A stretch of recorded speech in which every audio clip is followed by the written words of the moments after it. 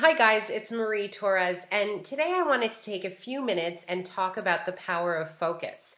Now, a few years ago, Andrew and I started coaching with Rich Schefren. And if you're not familiar with Rich Schefren, Rich is the business coach to some of the most successful internet marketers on the planet. So, people like Russell Brunson and Mike Filsaime. And um, so, anyways, you know, to make a long story short, we were sitting down talking with him, and he was saying, okay, so let's go through what you guys are doing. And, you know, Andrew and I were super excited. We were talking about all the projects that we had on the go. And he basically tampered that down a little bit and he said, guys, you know, let me show you one thing. And he said, it's super simple but it's going to make so much sense and it's going to revolutionize your business. And it's the concept of the power of focus. And so that is what I'm going to share with you today. Now, the thing about the internet is that there is so much going on all the time. You know, you open your email, there's a new business, there's a, a new tool, there's a new something.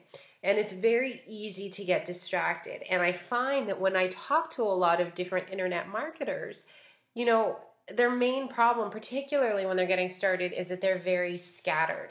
And so, what I want to do is, I really want to rein that in and show you how, if you're super focused, you get more done. So, um, here I'm going to actually write on my bamboo. Here we go. And uh, I just had to try that out for a second and basically show you that most people have project A, okay? They have project B, and they have Project C. And what people do on a daily basis is they work a little on Project A, a little bit on Project B, a little bit on Project C. And so, you know, the days and the weeks go by, and this is what they do A, B, C, A, B, C, A, B, C. So, if we were to follow this example, let's say, you know, we work a little bit on ABC each and every single week, and let's say that this is the time it's done. So how many weeks have we gone through? One, two, three, four, five, six weeks. Okay. Now, what I want to show you over here is the power of a focus. So what happens if instead of doing ABC, you actually do A, nice writing, Marie, A, A, B, B, B, C, C, C. You can see that if you spend your time focusing on one thing, so the opposite of multitasking, your project gets down or gets done in one week. Project B gets done in one week, and Project C gets done in one week. And it makes you that much more effective and this in itself, if you just remember this, this will make you super effective and get your products out there faster.